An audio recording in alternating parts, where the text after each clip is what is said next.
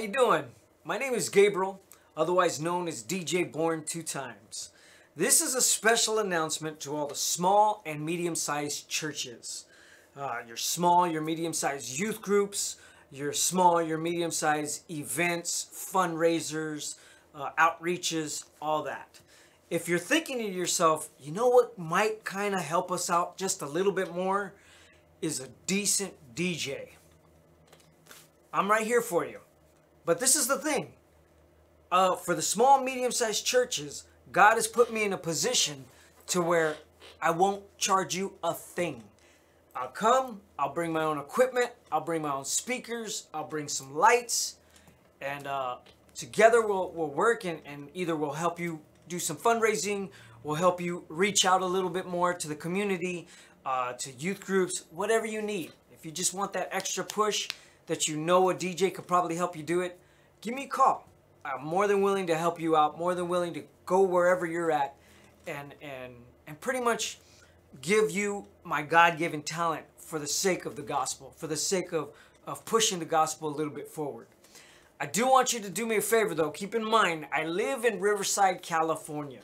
Okay, so I've actually done churches in Chino, uh, in Perris, in Banning, a couple times in San Diego. Got no problem driving, but the further you want me to drive out, I might want to. I, I might end up asking you for at least some gas money or something.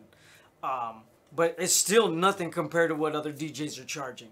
Okay, I don't. Me personally, my own conviction, my own spiritual conviction. I don't want to charge for events that you're trying to reach people, that you're trying to reach people with the gospel, that you're trying to do a fundraiser, that you're you're trying to do a, a youth event or whatever. Um, God has put me in a position financially where I can offer this for free. Okay? So hit me up on my Instagram.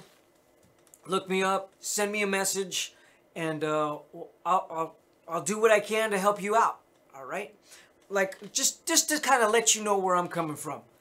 The name DJ Born Two Times.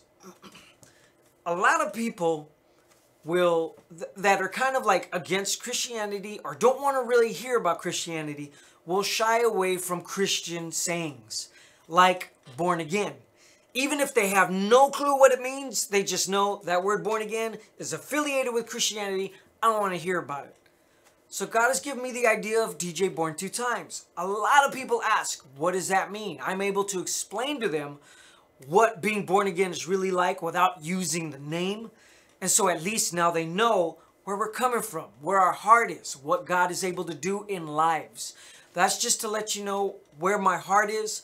Uh, very, very, very evangelistic, uh, uh, guided. Very, very evangelistic, pointed. So, you want to get to know me more? Pastors, youth leaders, youth pastors, give me a call. We'll see what we can do for you.